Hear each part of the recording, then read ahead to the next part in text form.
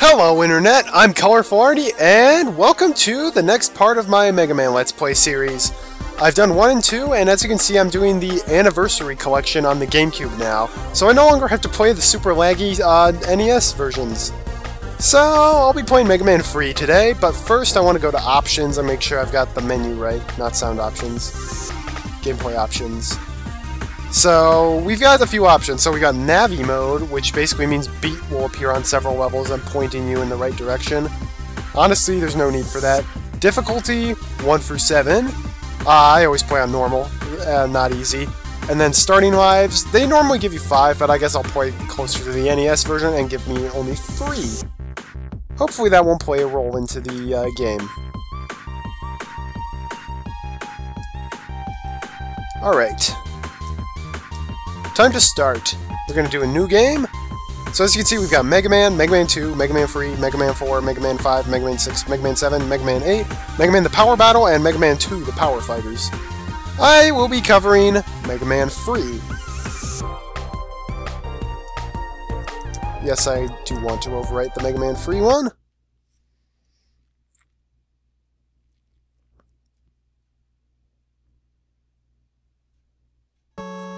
And as you can see, we are now at NES Graphics. Mega Man 3 also has amazing music. Personally, I don't like this menu theme as much as the Mega Man 2 menu theme, but I digress. Still got the password system, however, we fortunately get to save after every single level, which that's very nice. So, enough dawdling, let's do Game Start. And 8 new Robot Masters, and I'm still kind of thinking which order I want to do them in. I will say, I am not starting with Needleman or Shadowman. Huh. I think I'll start with Top Man, he's easy enough.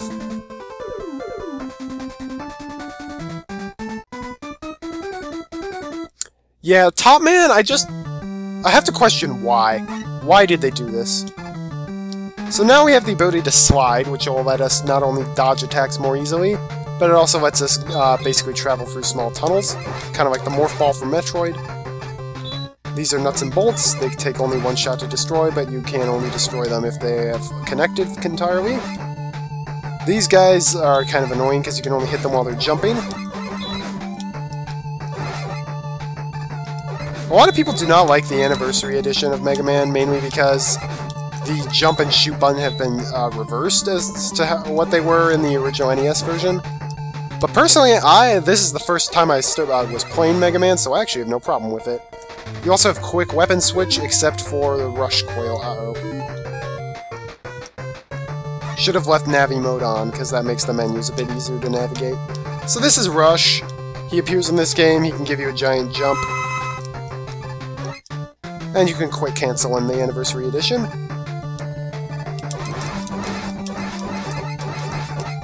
Oh man, people are being generous with the health today. So I still don't really know what Top Man's stage is supposed to be themed. Is it supposed to be a toy factory or a greenhouse? Spikes are instant death as always. Also, in the Anniversary Edition, if you hold Y, it's actually like a turbo button. I will try not to use it though.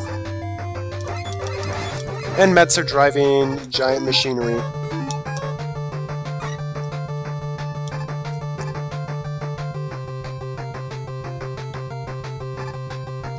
I want that. You do not get in the way of Arty and his 1-ups, because Arty needs 1-ups, if Mighty Number no. 9 is any indication. Yeah, I was not I was planning on not doing this for a while since of Mighty Number no. 9, but I think I've waited long enough. And Mini Boss, this literally looks exactly like my pet cat, pretty much entirely.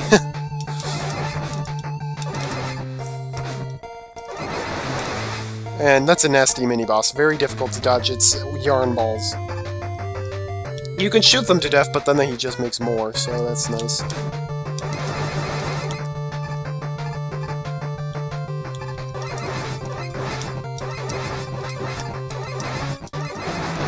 Whew! That second one's a lot easier because the yarn balls just go off screen. This is where the level gets a bit annoying. Whew. Grabbing on ladders can be annoying sometimes in this, but it's not too bad. Ow. Darn it. So to do the slide, you're supposed to push down and then push jump. But if you're playing the Anniversary Edition, you can just push the X button, which is a lot easier. And we're at Top Man. Top Man is a joke, pretty much. Once you know how to dodge his attack, he is easy. Throws the tops, slide to avoid them. Okay, I got hit there. Oh, wow.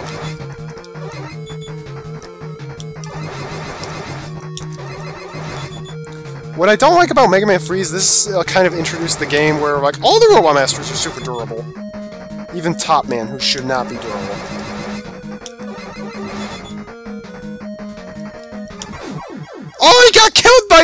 Man! How?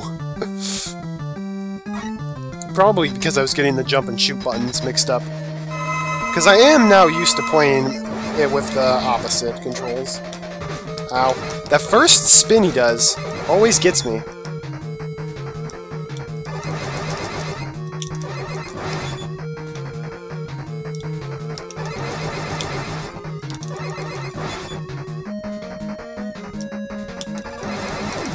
Goodbye, Top Man. Yeah, you'll notice if you're used to Mega Man 3 on the NES, the Anniversary Collection does not lag, which is very nice. Also, the music doesn't cut out randomly at points when there's so much stuff on the screen. And we get Top Spin. Pretty lame weapon, all in all. It does have its uses, it's not completely useless. It's just not my favorite by any means. Alright. So now we get to choose another guy. So if you're going in weakness order, you'll want to do Shadow Man next, but... I want to avoid doing Shadow Man for as long as possible. Let's go after Snake Man. Snake Man's a stylish-looking guy, and he's got amazing music.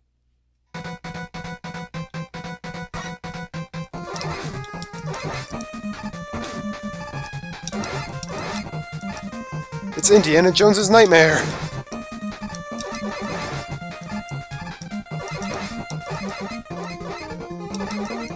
I love all the green in this area. Actually, I just love the design of this stage in general a lot.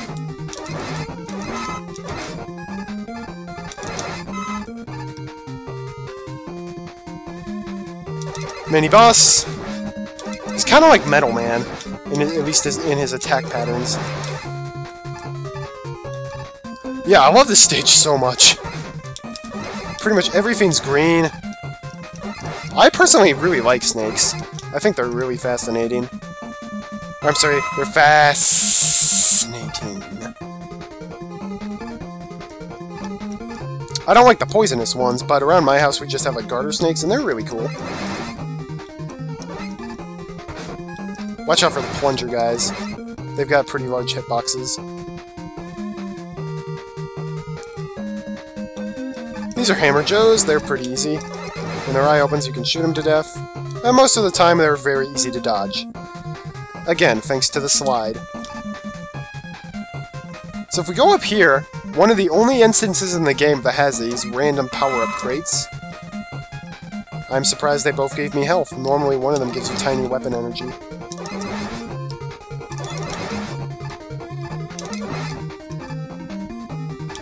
Also, you'll notice, so this is top spin, I'm pushing the trigger button, but nothing's happening. Basically, you have to do it in midair. He'll do a tiny little spin. If you hit enemies with that spin, it can deal heavy damage to them, but it could also deal almost no damage, and then you'll take damage. But the thing I really don't like about the top spin is the fact that its weapon energy is not consistent in its draining. Sometimes you'll use top spin and it'll only take a bar off, and sometimes you use it and it uses up all the energy just once. Which means, uh, for the enemies who you really, really want to use top spin against, you might not even get the chance, just because of how inconsistent the weapon energy is.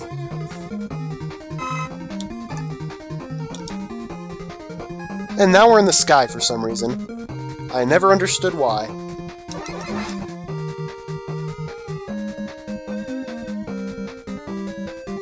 This is where the stage starts getting annoying. Make sure you jump every time they come out of the smokestack, because otherwise you can sometimes glitch off screen, and that is not fun when that happens. Woo! You also want to watch out for these guys. They're bullet bills inside clouds. Their bullet bill form is a lot faster, their cloud form is a lot more difficult to dodge, though, due to their sporadic movement. Sporadic movement, yes. Sporadic movement. For example, here, you want to shoot them while they're at their highest point. And just jump over that guy, and boom. So Snake Man, for some reason, super durable. Don't know why, he just is. Fortunately, he's also pretty easy to beat with the Mega Buster. At least if he doesn't do that. Basically, you kind of always want the middle pedestal for this fight. Just do that, and it's not too bad. It's really that first leech across the room if he decides he's gonna jump and shoot snakes at you from the middle platform. You're probably gonna take a hit.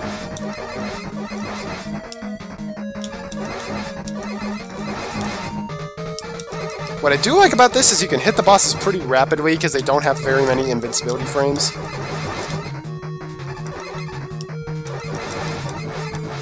Also, what I like about this game is many of the bosses have actually two weaknesses as opposed to one. For example, Snake Man takes extra damage to Shadow Man and uh, Needle Man's weapons. And here we actually get a nice weapon. And it's green. We get Search Snake. And I love that color scheme.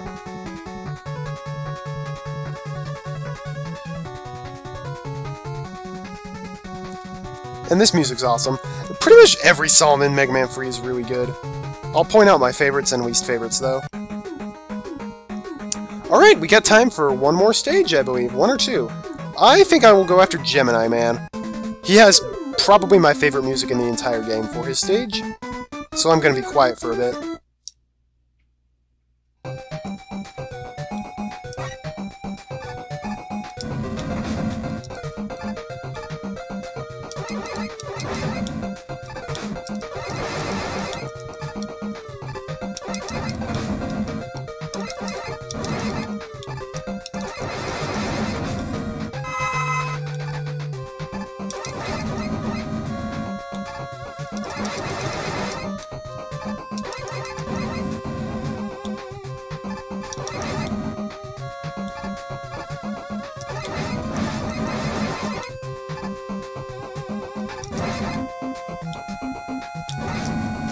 Whew.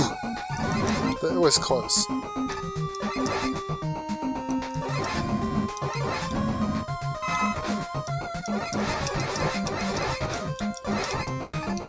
So you're probably expecting this to be an Arctic theme with space in the background? That's about to change. And here we get to meet one of the characters from Mega Man 3, Proto Man. And he is going to open the hatch for us. How nice. If you jump then hold left, you can get that, and then that. And now we are in not at all an ice world. Also, there were no ice physics at the beginning of that, in case you were wondering. You shoot the egg and a tadpole appears. Shoot the tadpole once and he dies. Really, my only complaint with this stage is the fact that the checkpoint isn't until, like, the very end. Not sure who was in charge of putting the checkpoint on this stage, but you failed.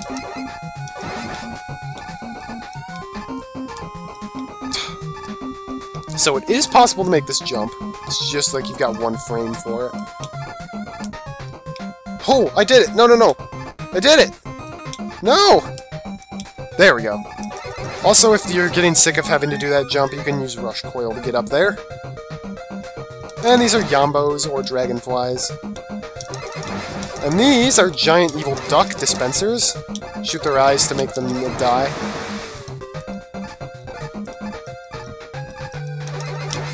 They also shoot penguins at you.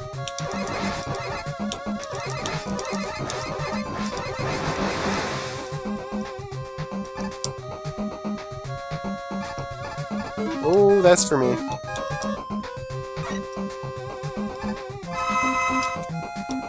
Actually, I should have kept that out. Yeah, this is where the checkpoint is, and I think there are two or three rooms before the boss. That's it. So you actually need to use Rush Coil there. And I'm to do some risky maneuvering. I'm to try to get all the prizes in this room.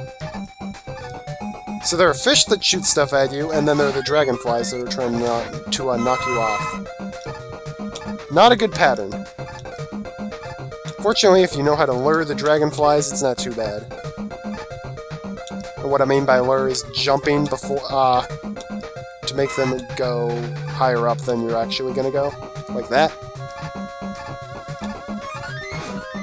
That was a little too close.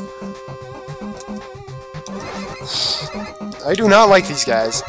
These are possibly my least favorite enemies in the game, believe it or not. And then this is kind of the big eye wannabe of this game, but he, this guy is in a really bad spot. He opens his eyes, you can shoot him, and since you can slide, you can always slide under his jumps anyways. Alright, time for Gemini Man, and you're going to want snakes for this fight. And as his name implies, there are two of him. Fortunately, he does not like snakes at all. wow, that was even more pathetic than I remember.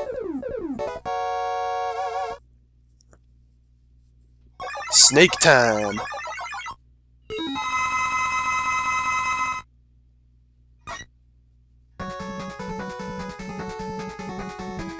And now, we get the Gemini Laser. So in Mega Man 3, this was... Er, I am playing Mega Man 3. In the NES version, that is not a very good weapon, because just firing it makes the game lag horribly. However, in this, that is not the case, so it's actually not a bad weapon.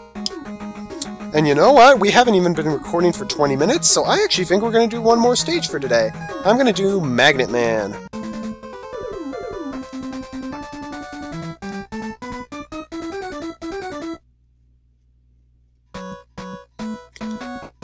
So here's the big question. Is Magnet Man an electric Robot Master? I do not consider him an electric Robot Master, but that's just me, because he does not shoot electricity. So these magnets will pull you up. But they're not that bad.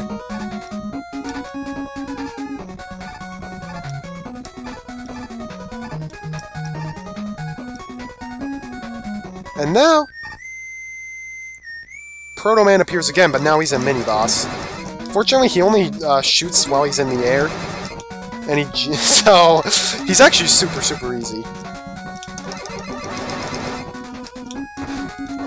And of course I say that now. This guy shoots missiles at you, and it's annoying because they can hit you more than once.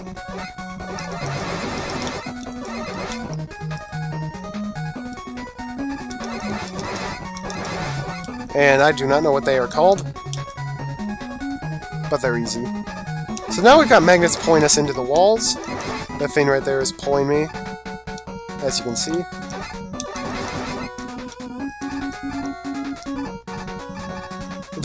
Mega standing on nothing! Give me all that. I love how fast Mega Man is compared to Mighty Number no. 9. Disappearing blocks, everyone loves them. I actually do not have a problem with disappearing blocks, believe it or not.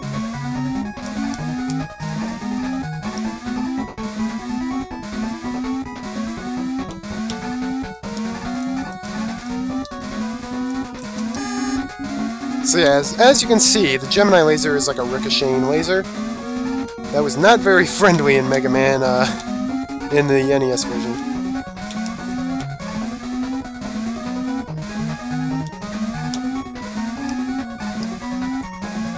Now we have to deal with these and magnets together.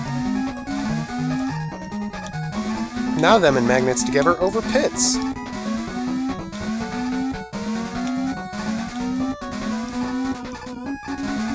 Still not that bad.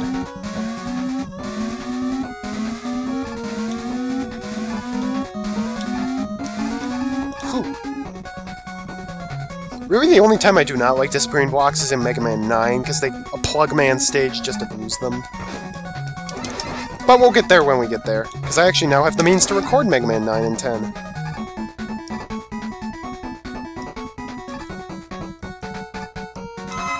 Not sure why I did that, since I'm just going to take damage again from this guy. Oh, actually...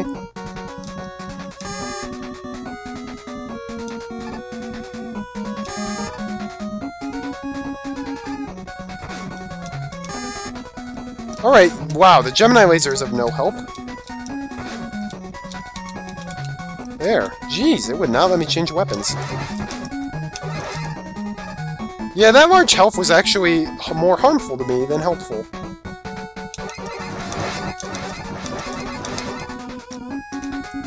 Time for Magnet Man. And we're fighting him with the Mega Buster. So, the Magnet Man fight can go fast or slow. So, that's his fast move. It's a bit more intimidating than his other move, but... Yeah, so that's his other move, where he tries to suck you in. Problem is he's totally invincible doing that move. Whereas for the Magnet Missiles, well, they lock on, so they're annoying, but what the heck? They can also still kill you after they've disappeared, which is annoying. Fortunately, he's not that durable, it's just he can be hard to hit at times, since he spends most of the battle either out of reach or invincible.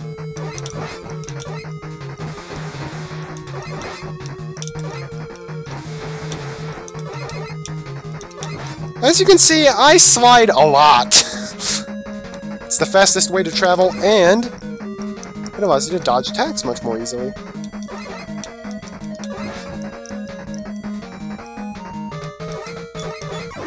Goodbye, Magnet Man. I think he's a cool Robot Master. Partly because he gives you a really nice weapon. Ma.